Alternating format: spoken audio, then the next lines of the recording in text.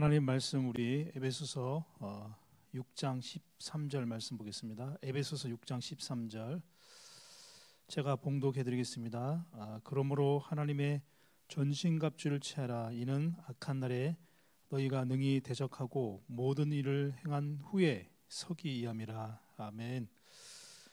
13절 예, 하반절에 모든 일을 행한 후에 서기 이함이라. 오늘은 서밋입니다. 서밋. 예, 여러분 서밋은 정상이잖아요. 서밋.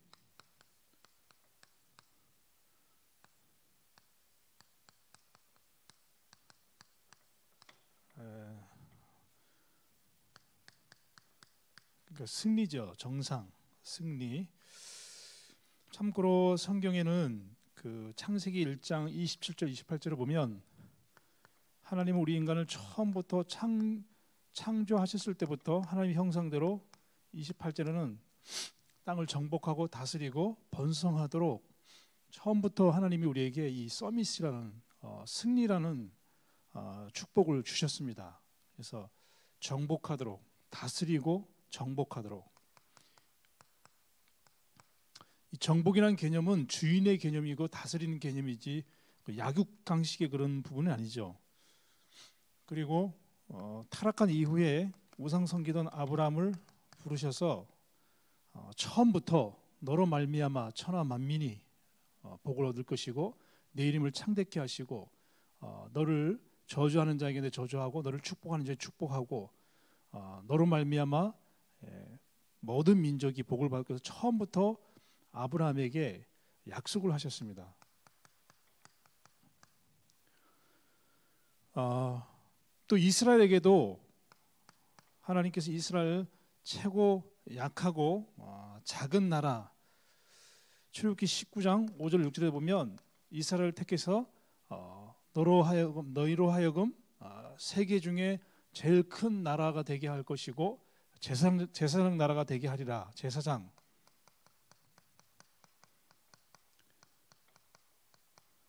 아, 처음부터 하나님이 서밋을 또 이사야에게도 그 포로된 상황 속에서도 그 작은 자가 천일이고 그 약한 자가 강국을 이룰 것이다.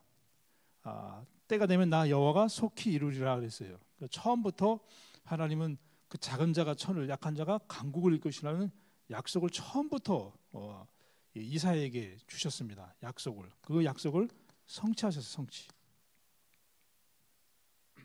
신약에 와서도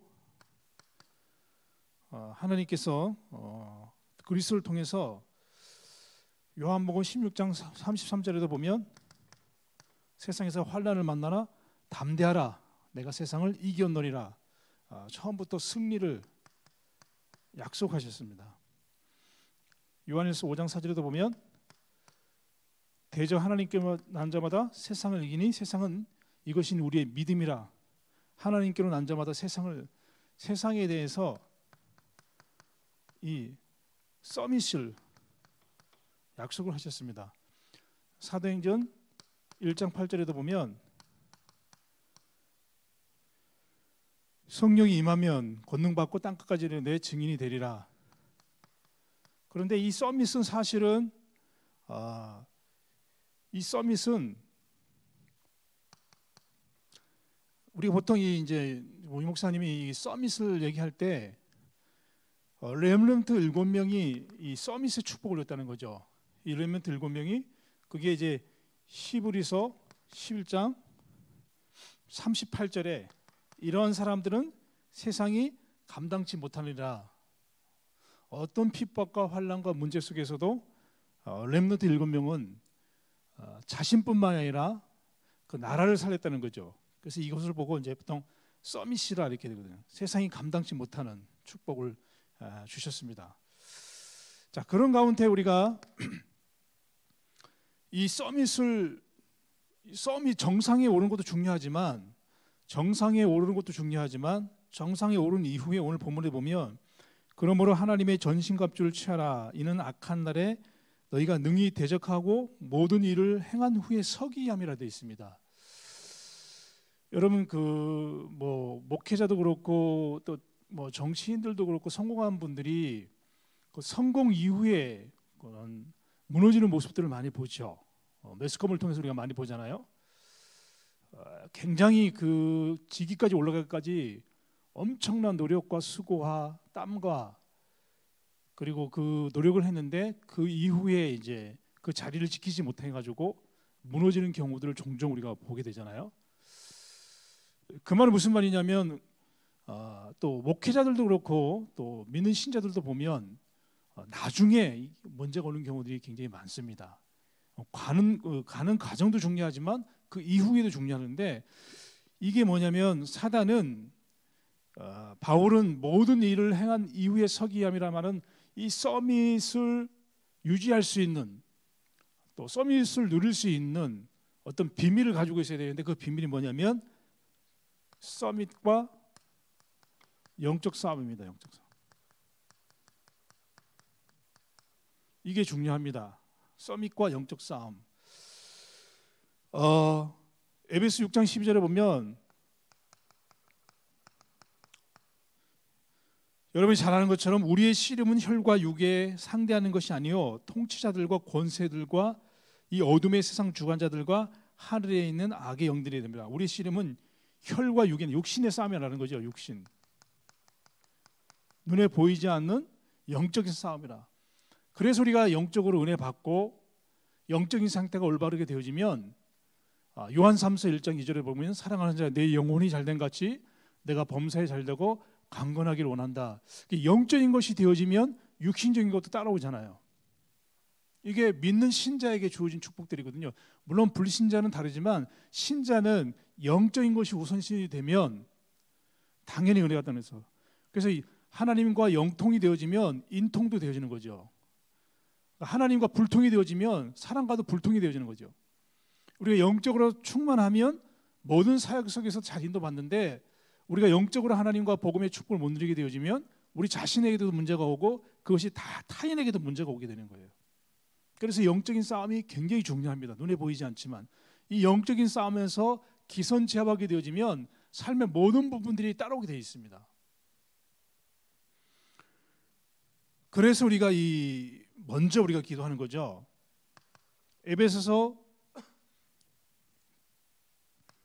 6장 11절에 보면 이 영적 싸움 중에 왜 우리가 영적 싸움을 싸우냐면 이 마귀의 관계가 있다. 관계. 관계라는데 이게 관계 내지는 전에 보면 계계 우리 지금 말하면 어떤 전략 이런 부분들이 있습니다.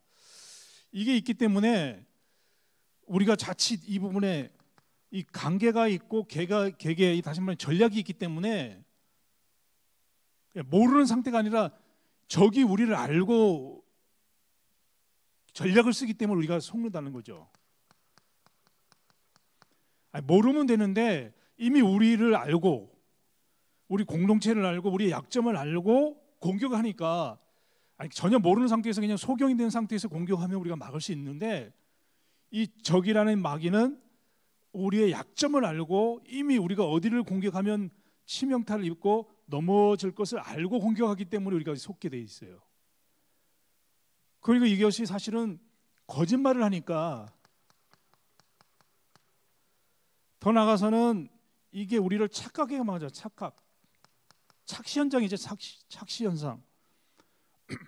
가끔요, 제가 이제 차를 이렇게 파킹하다 보면 이렇게 뒤로 파킹하다 보면 갑자기 차가 이렇게 확 앞에 나가는 느낌이 들 때가 있고 깜짝 놀랄 때가 있다고. 근데 차, 내 차는 뒤로 이렇게 파킹하고 있는데 차가 이렇게 앞에 나가는 것 같아요. 어, 어 이게 잘못된가? 이렇게 딱 보면 옆에 보면 앞에 있는 차가 나가고 있거든요. 나갈 때 이렇게 보면 내 차가 나도 나가는 것처럼 느끼는 착시 현상이라는 거죠. 착각하게 만드는 거죠. 여기에 이제 바울은 속지 말라는 거죠. 마귀의 관계에 속으면 결국 무너진다는 거예요.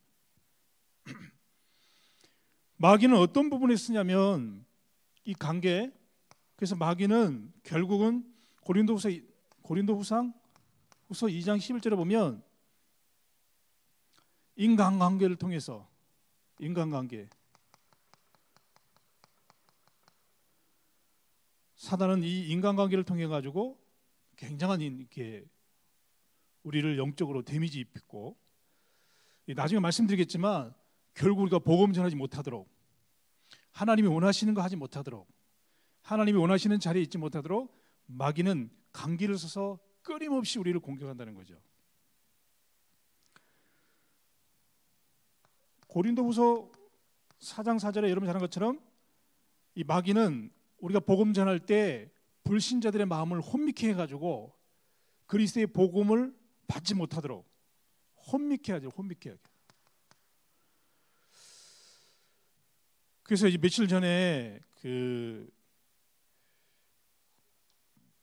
누굽니까 그 연예인 중에 그, 그 코미디언 개그맨 그러니까 개미, 개그맨이죠 개그맨 박지선인가 박 뭐 이렇게 연예인이 이렇게 자살하는 것을 내가 봤어요 어, 들었고 뭐 알러지가 있고 뭐 햇빛 알러지가 있고 그게 너무 뭐 아, 보통 알러지가 아닌가 봐요. 굉장히 힘들고 아, 그다음에 이제 뭐 정확하게 모르겠는데 우울증까지 왔다는 의미가 있는데 그 어머니하고 같이 이렇게 이번 주 이렇게 기사에 보니까 어, 그 어머니가 쓴 글에 보면 딸을 혼자 보내기 보내고 싶지 않아서 같이 이렇게 이제 목숨을 끊었는데 참 그 모습을 보면서 느낀 게 뭐냐면 참 복음만 조금만 들어도 어, 살 텐데라는 어떤 제 스스로의 어떤 책임 의식을 느끼게 됩니다.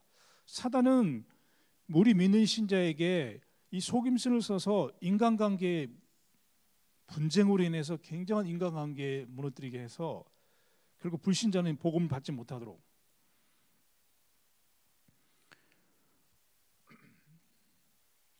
그리고 사단은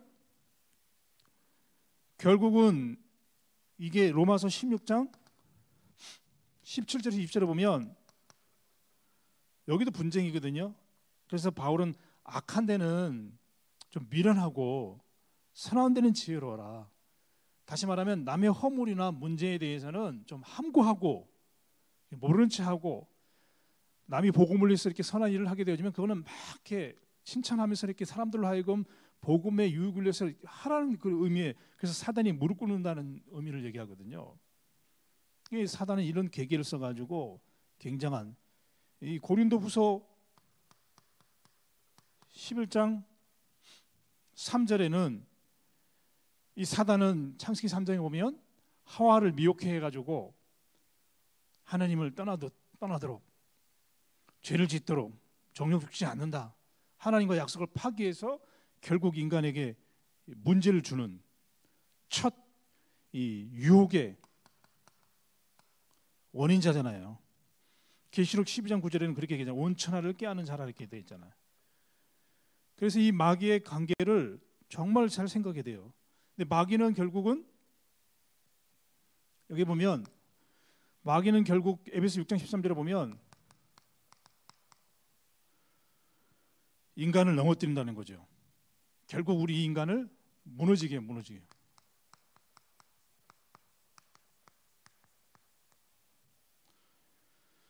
그게 여러분 창세기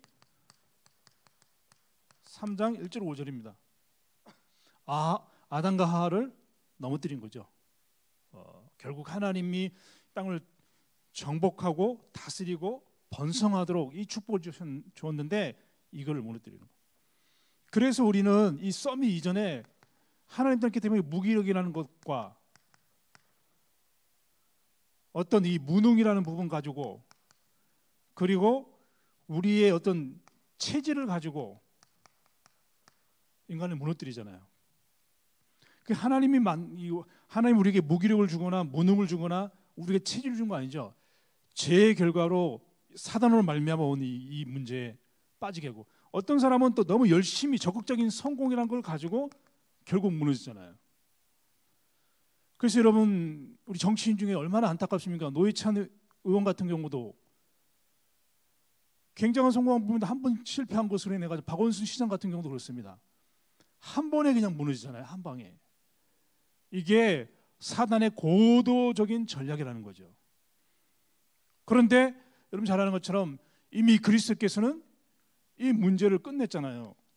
그래서 우리가 복음을 누리는 영적 싸움을 싸우면 사단은 우리에게 관계를 사단의 어떤 그 전략이 속임수가 눈에 딱 보입니다. 내 스스로도 우리가 속는 것을 보이게 돼 있거든요. 우리가 복음 앞에 쓰면 내가 어느 부분에 사단의 통로가 되는지를 알 수 있어요. 요한복음 10장 10절에도 보면 전에도 말씀드렸지만 도둑은 도둑이 온 것은 도둑질하고 강도하고 죽이고 멸망시킨다 그러잖아요. 인간을 멸망시키는 거. 그래서요, 여러분 복음 다음으로 그리스도 다음으로 중요한 것이 뭐냐면 이 사단입니다. 사단을 모르면 영적 문제를 모른다니까요. 영적 문제를 잡고 있는 것이 사단이거든. 얼마나 억울해요. 왜 억울하냐면 이 사단의 권세를 우리 예수님께서 멸하셨거든요. 창세기 3장 15절 여인의 후손이 뱀의 머리를 상하게 할 것이라. 요한일서 3장 8절 그리스도께서 오신 것은 마귀의 일을 멸하라 하심이라. 우리가 조금만 그리스도 이름 부르고 그리스도를 믿을 때 마귀의 일은 면해지거든요. 근데 이걸 모르고 우리가 영적 문제 있는 사람들은 중독이든 집착이든 또 우울증이든 공황장애든 조금만 집중하고 시간만 두면서 계속 싸우면 승리하는데 이 착각과 이 거짓말과 또 이 소금으로 말미암아 멸망길로 가는 또 믿는 신자는 물론 멸망길을 가지 않지만 그 육신이 멸해지는 그런 불행한 일들을 아, 보게 됩니다. 속으면 안 돼요, 여러분. 인간을 무너지게 할 거, 무너뜨리거든요. 그래서 하나님이 허락하신 거지. 하나님이 허락하신 거지. 믿는 신자가 우울증이든 공황장애든 뭐 중독이든 간에 자살하는 경우는 하나님이 자살시킨 게 아니라니까요. 여러분, 하나님은 허락하셨을 뿐이지 복음을 우리가 못 누림으로 복음 체질이 안 되므로 그 순간에 착시 현상을 통해 가지고 믿는 신자인데 분명히 구원받은 하나님의 자녀인데 그 우울증과 공황 장애와 어떤 영적인 문제로 자살한다. 그것은 마귀에게 사실은 패한 거예요. 그래서 우리가 이 부분을 그래서 여기 뭐라고 돼 있어요? 에베소 6장 14절 모든 일을 한 이후에 서기합니다. 너무 때린다니까 마귀가. 우리가 실패는 우리가 지옥은 가지 않지만 이 땅에서 실패할 수 있다니까요. 이 땅에서 부끄러움을 당할 수가 있어요. 이 땅에서 무기력과 무능과 체질 때문에 결국 넘어질 수 있다니까. 그래서 우리가 마귀의 일을 멸하신 그리스도를 붙잡는 거거든요. 그리고 우리가 뭐라고 육신의 싸움을 싸우는 것이 아니라 영적인 싸움을 싸우는 겁니다. 내 영혼아 모든 문제 해결하신 그리스도를 붙잡을지어다. 내지는 그리스도께서 이 시간 나에게 오셔서 마귀의 일을 멸하신 그리스도께서 성령으로 충만케 해 주셔서 마귀로 속지 않도록 은혜를 베풀어 주옵소서. 그리고 사람 관계와 어떤 여러 가지 문제에 빠지지 않고 복음 전할 수 있도록 축복하여 주옵소서. 내 마음과 생각을 붙잡아 주시고 빌보서 4장 6절 말씀처럼 마음과 생각을 붙잡아 주시고 하나님이 원하시는 그 현장에 있게 해 주시옵소서. 그 기도를 매일 한다면 우리의 생각과 우리의 마음과 영혼은 바르게 쓰게 돼 있거든요.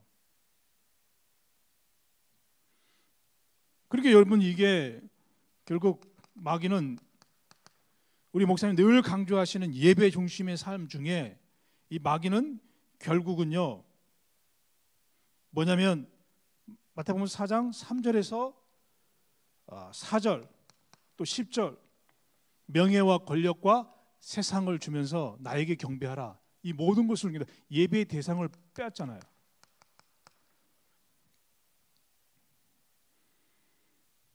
세상을 주면서 마귀는 결국 그래서 불신자가 여기에 쫓아가다가 명예와 권력과 부에 쫓아가다가 결국 실패하잖아요. 그래서 우리는 영적 싸움을 제대로 싸워야 된다. 근데 이 싸움은 이 서밋은 우리가 하는 것 나중에 이따 말씀드리겠지만 우리의 열심과 노력으로 하는 것이 아니에요. 우리는 딱 서밋은 믿음으로 하는 거 믿음으로. 물론 우리 편이었으면 도전한다고 볼 수 있고 열정을 한다고 할 수 있지만 그러나 그 근본적인 무기는 믿음을 가지고 이따가 말씀드리겠지만 대개 하리라 대개 대개 하리라 내가 하는 게 아니라 대개 증인이 되리라 살아남은 어부가 되게 하리라. 주체가 내게 있지 않다는 거죠. 주체가 하나님께 있다는 거예요. 그래서 우리는 믿음을 통해 어떤 믿음은 하나님께서 그리스도를 통해서 이 마귀의 일을 멸하셨다는 사실에 대해서 믿으셔야 돼요. 그 축복 우리 가운데 탁 잡히도록. 그게 여러분 에베소서 4장 27절에 보면 마귀는 틈 우리의 틈을 노리잖아요. 틈을. 그 제가 볼 때는 우리가 예수 생명이 없고 하나님의 복음의 은혜가 없으면 이미 우리는 마귀에게 패했다니까요. 우리 무방비니까. 그런데 감사하게도 이 영, 눈에 보이지 않는 영적 세계에서 마귀의 관계를 하고 속임수를 알고 지금과 우리가 넘어질 수도 있었고 좀 힘들 수도 있었지만 지금까지 온 이유는 뭐냐면 하나님께서 그리스도를 통해서 우리를 지키셨기 때문에 눈에 보이지 않지만 지키셨기 때문에 사실은 마귀로부터 우리가 승리할 수 있었다는 거죠. 자, 마귀는 결국은 이 무너지게 우리를 만들고요. 마귀는 우리의 관계를 쓴다는 거죠. 그래서 이거는 뭐 이렇게 일반 우리가 이제 아, 저기 우리가 전에 배웠던 처럼 뭐 귀신 뭐 마귀 마귀 그런 의미를 말하는 게 아니에요. 그냥 성경적으로 얘기하는 거예요. 꼭 마귀 한다고 마귀 마귀 그런 것이 아니라 사실적인 거예요. 그리고 세 번째는 뭡니까? 에베소 6장 13절에 보면 에베소 6장 16절에 아, 보면 불 화살을 쏜다. 화살. 겨냥해 가지고요. 정확하게 겨냥해 가지고 쏘는 거예요. 그게 뭐냐? 우리에게 굉장히 정죄 의식을 주는 거예요. 정죄 의식. 너 같은 사람이 하나님 자녀, 너 같은 사람이 무슨 서밋이 돼? 너같이 무능한 사람이, 너같이 배경이 없는 사람이, 너같이 못난 사람이 어떻게 네가 서밋이 될 수 있다고 말해? 정상이 될 수 있다고 말해? 이게 정죄식을 준다고. 그런데 로마서 로마서 8장 34보니까 이렇게 있습니다. 누가 너를 정죄하리요 그러잖아요. 8장 34절 보면 누가 누가 정죄하리요? 죽으실 뿐만 아니라 다시 살아나신 이는 그리스도 예수시니 그는 하나님 우편에 계신 자요 우리를 위하여 간구하는 자라. 100% 우리는 정죄하지 말아. 100% 우리는 하나님의 자녀란 신분 의식을 가져야 된다니까요. 물론 하나님 앞에서 우리가 안 되는 부분에서 탄식할 때도 있고 울 때도 있고 신음할 때도 있지만 그러나 믿음 편에 봤을 때는 정죄 의식에 빠질 필요가 없다는 거죠. 그 어떤 사람 그러면서 우리가 결국은 이 사단은 우리의 어떤 상처를 가지고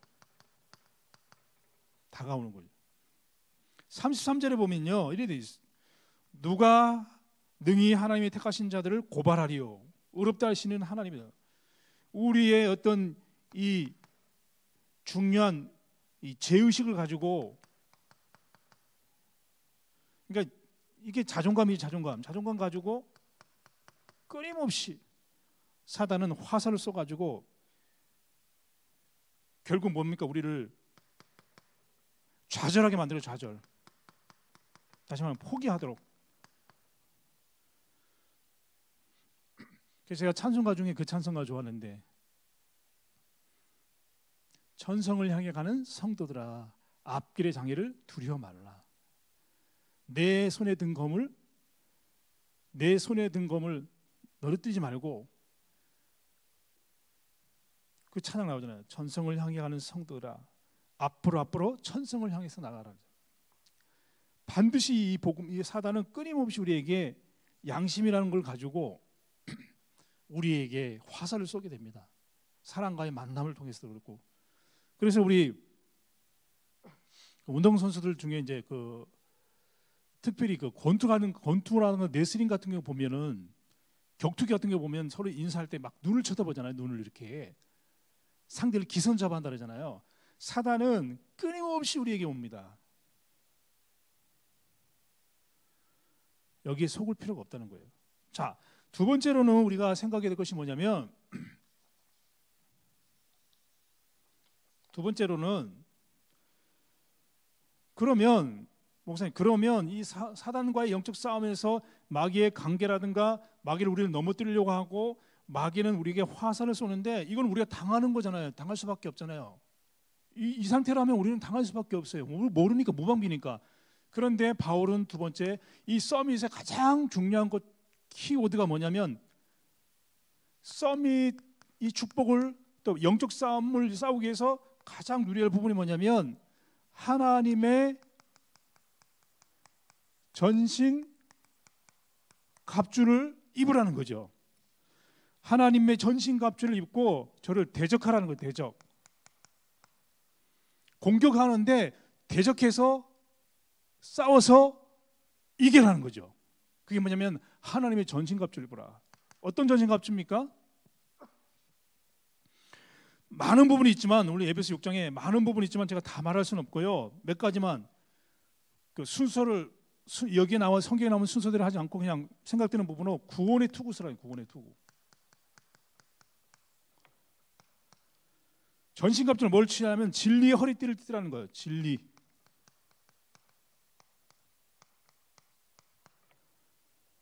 그리고 의의 호신경.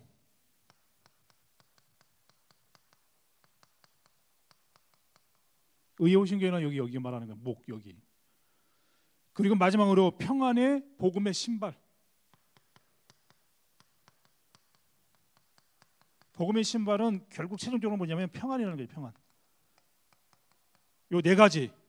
요 네 가지만 분명하면 마귀의 공격으로부터 승리할 수 있다는 거예요.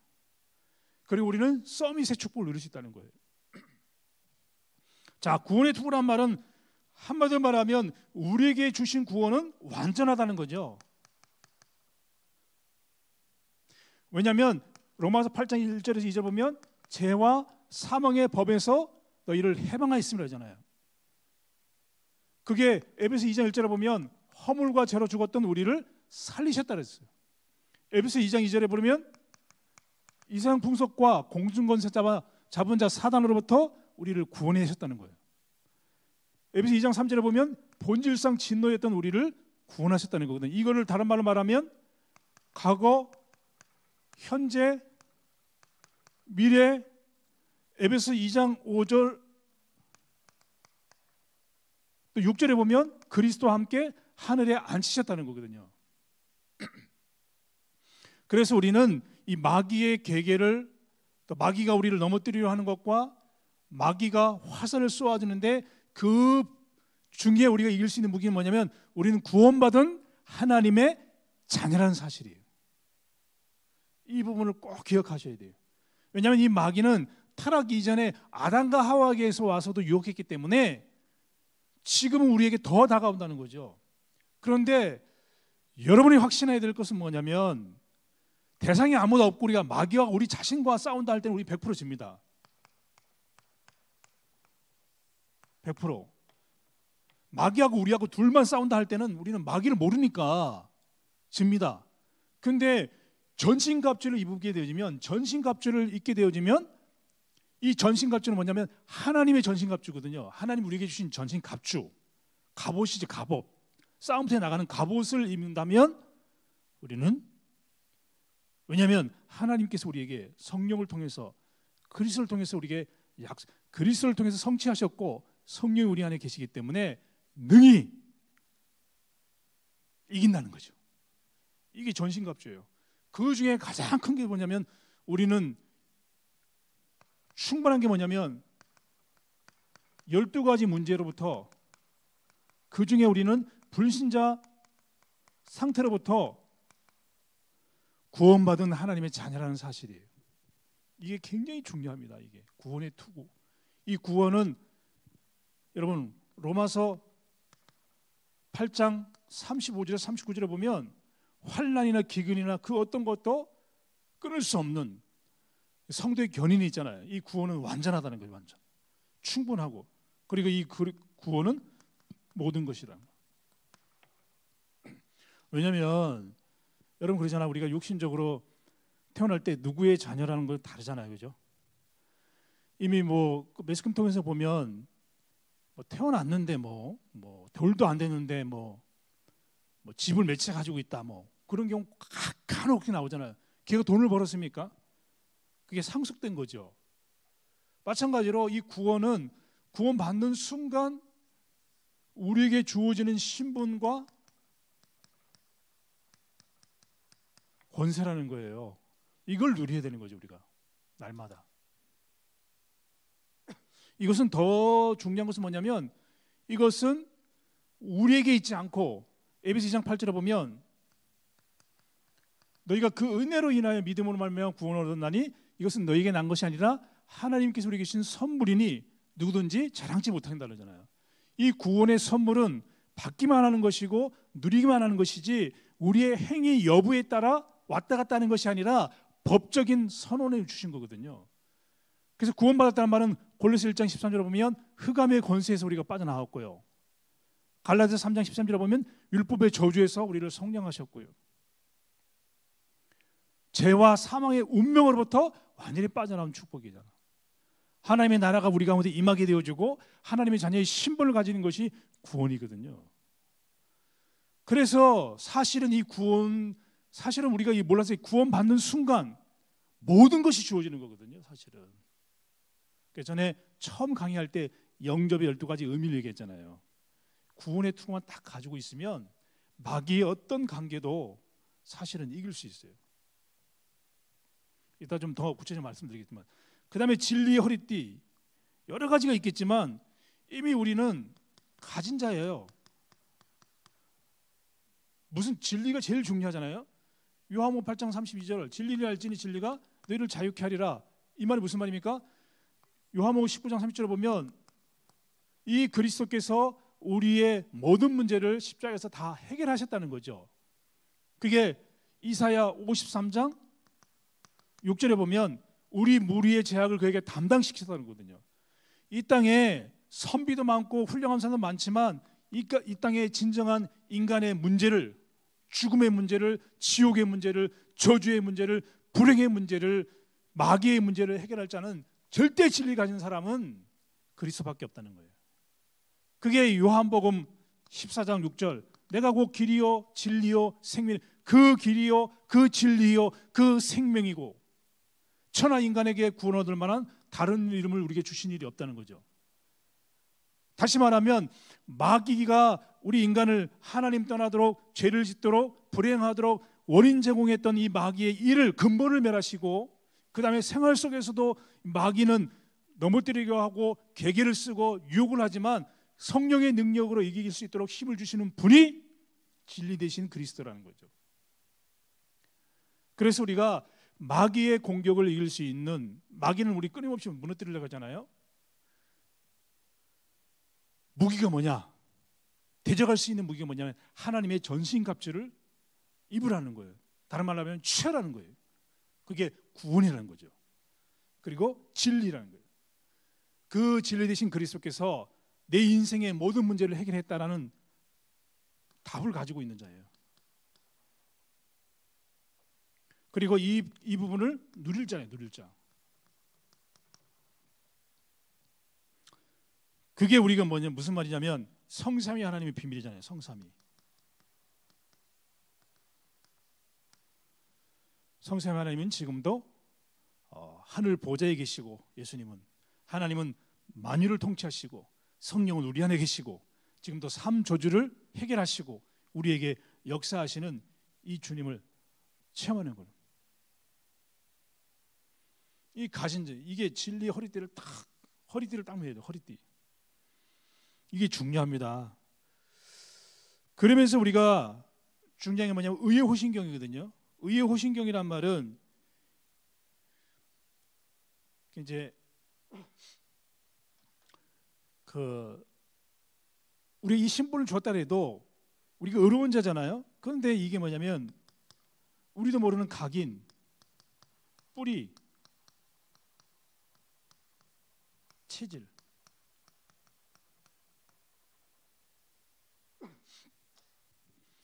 어제 그 우리 그 이제 둘째 우리 예능이가 그 고구마를 이제 이렇게 뭐 이렇게 기계로 이렇게 쪄뭐 기계로 뭐 이렇게 했더라고요. 구웠는지 어는지 모르겠는데 저희 집 사람이 이제 그 고구마 말린 거를 좋아하고 먹고 싶어 하더라고요.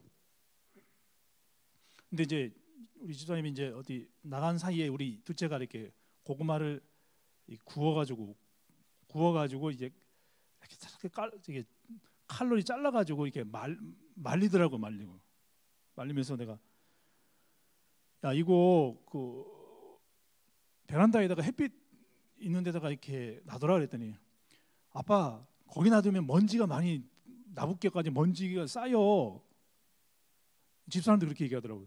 그러면서 그 이렇게 그냥 싱크대 있는 아니 싱크대가 아니라 저기 저 부엌에 있는 어, 그 식탁 비슷한데 이렇게 이렇게 돼 있는 거 있어요. 식탁 그 위에다가 이렇게 놔뒀더라고요. 내가 속으로 야 지금 눈에 보이지 않지만 지금 거기 있으나 여기 있으나 여기도 지금 방아 이게 거실이지만은 먼지가 굉장히 날리고 있는데 그렇잖아요. 뭐 눈에 보이지 않지만 먼지가 계속 이렇게 나부끼고 있거든요. 그 휴대폰 같은 경우 이렇게 액션 화면 그 필름 가려고 이렇게 딱 놔두면요. 닦아놨는데 한 5초, 뭐 6초 지나면 거기에 먼지가 팍 끼더라고요. 무슨 말이냐면 구원과 진리와 의로 우리가 하나님의 자녀가 됐지만 우리의 체질이라는 것이 남아 있잖아요. 그죠? 우리가 그리고 복음 없이 우리가 창세기 3로 태어났던 이 잘못된 뿌리 각인들이 있기 때문에 요것 때문에 우리가 힘든 거거든요. 그래서 이거를 신학적인 용어로는 이제 성화라고 얘기되어 있지만 칭의가 칭의는 구원받은 자고 이것 때문에 우리가 지금 힘든 거잖아요. 의의 호심경이란 말은 우리가 이 잘못 각인되어지고 뿌리 내리고 체질되어진 것 때문에 우리는 서밋이 아니야. 서밋은 사실 불신자처럼 열심히 노력해서 오는 서밋이 아니고 처음부터 아까 얘기했죠. 처음부터 약속하신 거라니까 약속을 승리라는 단어를 약속하신 거예요. 복음을 위해서 다른 말로 말하면 하나님의 영광을 위해서 타락하지 않았으면 그냥 하나님 이 백성은 나를 위하여 지었나니 나를 찬송하도록 하나님 찬송하도록 되어 있는데 타락한 이유는 복음이 필요한 거죠. 복음을 위해서. 그러니까 복음을 위한 삶이 하나님의 영광을 위한 삶이잖아요. 그런데 주셨는데 중요한 건 뭐냐 이 구원의 투구와 이 모든 걸 줬지만 의의 호신경이 왜 필요하냐면 이게 이제 구체적으로 이따 말씀드리겠지만 의의 호신경이 왜 필요하냐면 저와 여러분에게는 잘못 각인 뿌리에 체질되어졌던 오래된 문제, 영적인 문제, 가문의 문제, 우리의 체질적인 문제가 있기 때문에 힘든 거라. 그래서 우리가 뭐예요? 사단의 관계에 넘어가기도 하고 이 마귀로부터 많이 이렇게 속을 때가 많은 거죠.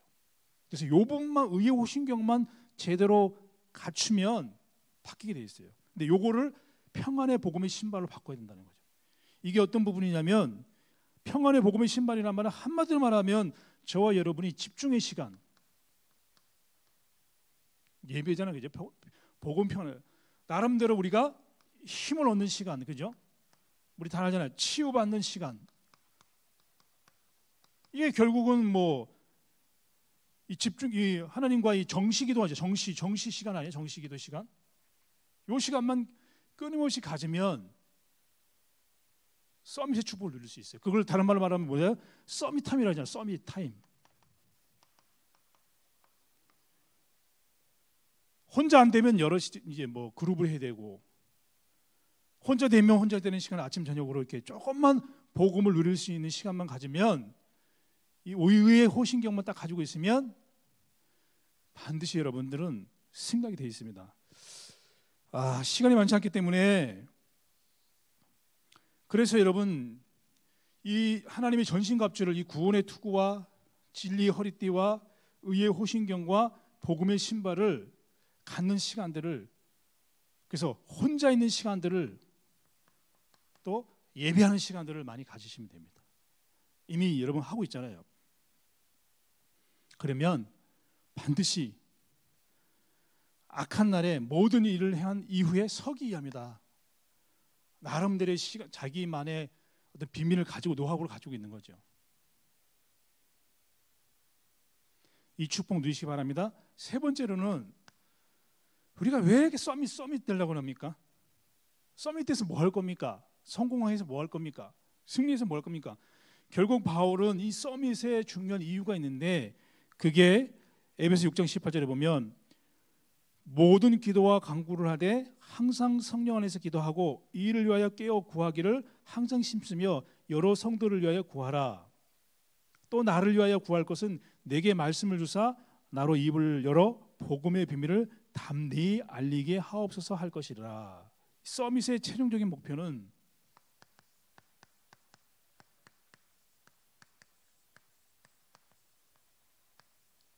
바울은 나를 위해서 기도한 기도해달라. 또 나도 성도들을 위해서 기도한다. 성도들이 이런 흑암에 잡히지 않도록 그리고 하나님이 전신갑주를 취하도록 그래서 승리해서 복음 증거하도록 나도 성도를 위해서 기도한다. 내가 지역에 있는 성도들을 위해서 우리 구역원들을 위해서 바울 말고 우리가 기도하는 이유는 이 성도들이 제대로 복음을 증거할 수 있는 전도자의 삶을 살 수 있도록 기도한다는 거죠. 바울도 그렇게 기도해 달라는 거예요. 또 나를 위하여 구할 것은 내게 말씀을 주사 나로 입을 열어 복음의 비밀을 담대히 알리게 하옵소서. 이 일을 위하여 내가 쇠사슬에 매인 사신이 된 것은 나로 이 일에 당연히 할 말을 담대히 하게 하려 하심이라. 쇠사슬에 매인 이 말은 감옥 속에 갇혀 있는데도 불구하고 바울은 이 복음 증거에 대해서 분명했다는 거예요. 그래서 다른 말로 바꿔서 말하면 우리는 이 서밋을 통해서 결국 빈 곳을 봐야 돼, 빈 곳. 아까 그 코미디언 그, 여, 그 박지선인가요? 그 자매가 36살인가 그렇던데. 그런 사람들이 자꾸 이, 내 주위에 생기지 않도록 빈 곳을 볼 수 있도록 눈을 열어달라고 기도하셔야 돼요. 그게 예수님이 마태복음 9장 36절 39절 아닙니까? 먹지 없는 양같이 유리 방하고 그래서요 전도보다 복음보다 바쁘면 안 돼요 사실은 사역도 마찬가지예요 복음보다 전도보다 바빠서는 안 되는 거예요 빈 곳을 못 볼 정도로 기존 교회 얼마나 열심히 합니까 특심입니까 근데 이거 결국 이거 못 보잖아요 우리가 노는 것 같지만 이 현장을 봐야 된다니까요. 목자 없는 양같이 유리 방황하고 있는데 관심은 다른 데요. 바빠요. 내가 그래서 우리 권사님 한 분에게 이런 얘기를 했는데 뭐 내년에 뭐 사역을 많이 하든 또 주일날 바쁘게 사역을 하더라도 지역 사역 놓치지 말아라.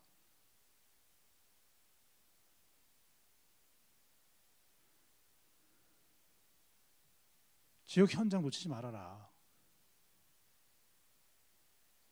물론 다 하나님 나라를 위해서 다 쓰임 받는 거죠. 그러나 오늘 포인트는 바울의 포인트는 거예요. 내가 감옥에 갇힌 이유는 세상에 매인 것은 그럼 내가 summit을 되고 어찌하든 간에 이 사단과 영적 싸움에서 승리할 승리해야 될 이유는 이 마귀는 결국 우리를 멸망길로 가기 때문에 전신갑주를 취해야 될 이유는 복음을 증거하기 위해서 아니 복음 증거하기 전에 아 복음을 전해야 되겠구나라는 것이 보여줄 만큼 나의 미션이 보여줄 만큼 하나님의 계획이 보여줄 만큼 전도가 보여줄 만큼 눈이 열린다는 거죠. 교회가 교회의 본질인 교회의 본질인 이 복음 증거와 복음 누리는 것과 영적 싸움에 방해되는 모든 것들이 사실은 유익한 게 아니에요. 그것을 위해서 필요한 것이지. 자, 그래서 여러분 사도행전 제가 어제도 이렇게 전도했던 분인데 이제 기존 교회 다니고 계시는데 어, 그뭐 휴대폰 대리점 사장님을 이렇게 쭉 이번에 안수집사 이제 된다고 이렇게 쭉 얘기하는데. 복음 전도 안수집사의 역할 이게 다 빗나갔어요 빗나가 있어요. 초대교회처럼 일곱 지사처럼. 아니 포인트가 아니에요. 기존 교회 포인트는 안수 그냥 봉사예요 봉사. 예배 열심히 해라 뭐 빠져라 빠지 말아라 뭐. 그게 내가 이, 이 부분에서 이거는 다 되게 하리라라니까 이제. 근본이 이 부분이야 그리고 사도행전 8장 4절에 8절에 보니까 사마리아에 정말 영적인 문제 있는 사람들에게 다른 말로 말하면 불신 현장이 불신 현장 서밋의 이유는 이겁니다. 우리가 복음을 증거하기 위해서 예, 그분이 이렇게 얘기하고 있어요. 전도 얘기하니까 자꾸 전도를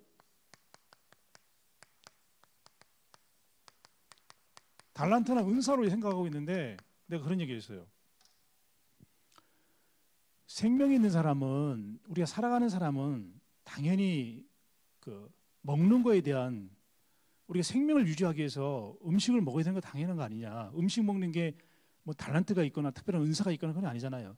육신적인 생명을 가진 사람은 당연히 먹어야 그, 그 우리 육신이 또 생명이 유지되는 거 아니에요? 믿는 하나님의 자녀는 이 전도라는 것, 이 복음이라는 것은 예수님 자체가 우리에게 구원을 오셨기 때문에 전도라는 것은 어떤 특별한 전도라는 단어가 단어 자체도 이상하다. 어, 이상한 게 아니라 이 전도라는 게 이제 구원이니까 복음이니까 복음이잖아요. 다른 사람 전도는. 그래서 믿는 하나님의 자녀라는 것은 사실은 이 전도는 모든 사람에게 적용되는 부분이다 이렇게 얘기해요. 근데 우리가 어렸을 때 생각하는 게 뭐냐? 이걸 잘못 오해하고 거예요. 왜 그러냐면은 복음이 오해되어 있고 또 구원이 오해되어 있고 불신 상태로 다 이해 못하니까 이게 잘 안 나오는구나. 우리만큼이라도 이 부분 생각해야 돼요. 그리고 여러분 237 현장 그게 선교 현장도 되지만 우리 주위에 있는 다민족들이잖아요. 우리 교회 다민족 있잖아요. 이 부분을 놓고 사실 우리가 복음 증거해야 될 부분이에요. 그래서 마태복음 24장 14절 말씀처럼 복음이 증거는 이후에 끝이 오리라. 빈 곳에 대한 그리고 불가능의 현장.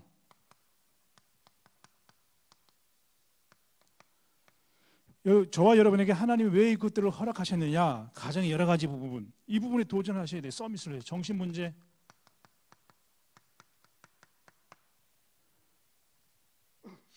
그 제가 그 그리고 이 영적인 문제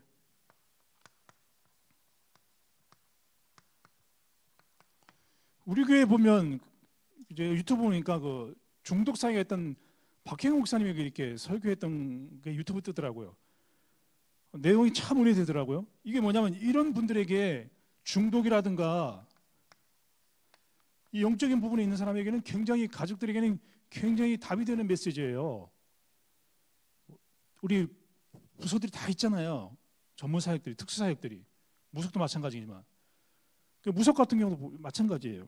그러니까 충분히 우리가 불가능한 현장을 향해서 가라는 것이 아니라 우리의 마음, 마음만 가지고 있으면 됩니다.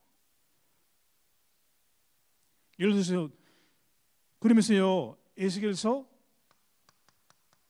37장 1절에 11절 마른 뼈들이 이게 말이 뭐냐면 우리 교회도 또 우리 많은 우리 기독교인들도 굉장히 이렇게 응답 없이 힘 없이 이 문제에 빠져가지고 굉장히 힘들어하는 사람들이 많아요. 무기력에 빠져 있는 사람이 많아요. 이걸 도와줘야 돼요.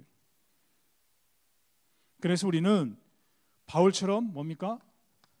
사도행전 19장 21절 머물러 있지 말고 로마도 보아야 하리라. 머물러 있지도 말고 포기도 하지 말고 서밋선항에서 가는 거잖아 우리가 지금. 사도행전 23장 11절에 보니까 예루살렘에서 증거와 같이 로마에서도 증거하리라. 복음 증거할 수 있도록 하나님이 우리를 베푸시는 거예요. 여러분 작년 전까지 우리가 얼마나 캠프를 많이 했습니까? 저는 계속 했어요 캠프를. 근데 작년에 못 지금 올해 와서 못 하는 거잖아요. 코로나 때문에 캠프라는 건 물론 개인 전들 하지만 이게 여러분 저와 여러분이 집중할 수 있는 은혜 주신 거 아닙니까? 전신갑주를 취할 수 있도록 의의 호신경을 준비한 거 아닙니까? 그러면 내년에 하나님이 이 현장을 향해서 이 복음 증거 현장을 빈 곳과 이 불가능의 현장을 해서 도전할 수 있도록 해주셨다니까요. 전도는 캠페인이 아니에요. 그냥 우리 삶을 통해서 그냥 복음 증거하는 거죠. 우리가 돌아다니는 게 아니잖아요. 우리 모든 삶을 통해서 주는 거니까.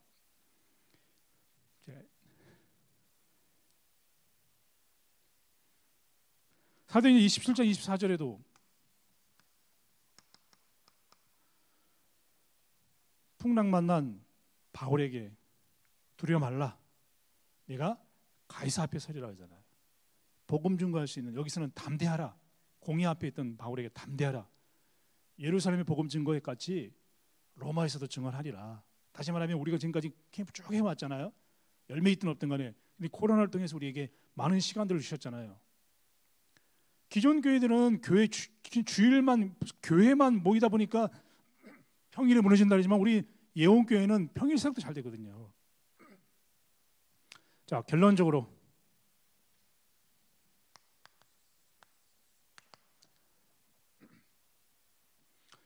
서밋은 우리가 복음을 이제 얼마만큼 누리느냐에 따라서 하나님 우리에게 주시는 축복들입니다. 사실은 지금은 우리가 막 열심히 하는 것 같고 우리가 열심히 하는 것 같고 도전하는 것 같고 열정을 회복하는 것 같고 우리가 집중하는 것 같고 뭐 24시간 갖는 것 같지만 나중에는 어떻게 고백하니 고백하냐면 이 모든 것들이 어떻게 고백하냐면 이렇게 고백할 수밖에 없어요. 서밋은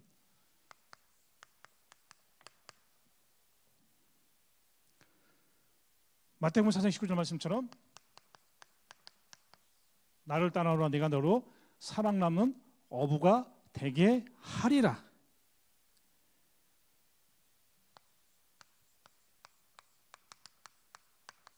내 안에 거하라. 나는 포도나무고 너희는 가지다. 가지인 너에게 포도나무에 붙어 있으면 열매를 맺게 하리라. 그래서 우리가 복음 누리고 복음 발견하는 것이 중요합니다. 그리스도 안에 거하는 것이 중요해요. 요한복음 15장 6절 너희가 나를 택한 것이 아니라 내가 너희를 택하여 세웠나니 뭐라고 되어 있냐면 이래 있어요. 열매를 맺게 하고 하고 그리고 열매가 항상 있게 하리라 하고 하고 있게 하리라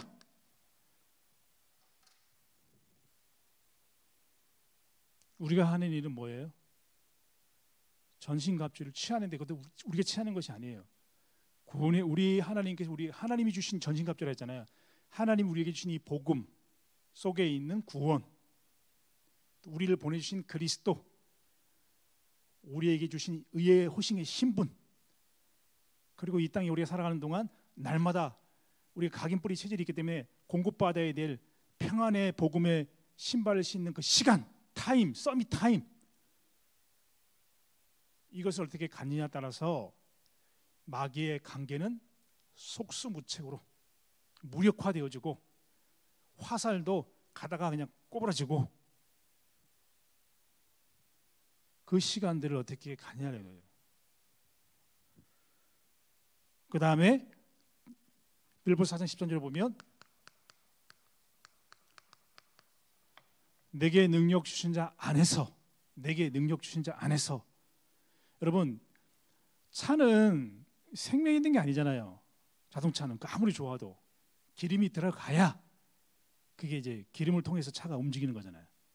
우리의 영혼에 하나님의 영으로 임할 때 능력을 주실 때 우리 영혼 잠재의식 무의식 생각을 뛰어넘어 영적 문제를 뛰어넘어 서밋을 향해서 복음을 증거하는 증인으로 세우신다는 거예요. 그게 영적 서밋이요. 영적 서밋이 되면 기능 서밋은 따라오는 겁니다. 문화 서밋, 불신앙과 흑암과 창세기 문화는 무너지게 돼 있어요. 그래서 저와 여러분이 날마다 전신갑주를 취하고 또 주신 것들을 확인하는 축복들이 있기를 예수 그리스도의 이름으로 축원합니다. 하나님 감사합니다.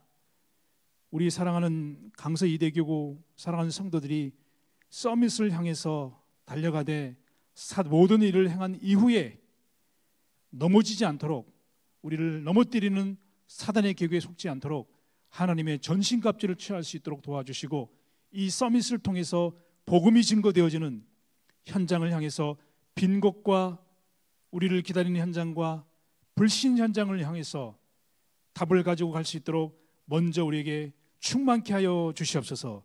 예수 그리스도 이름으로 기도하옵나이다. 아멘.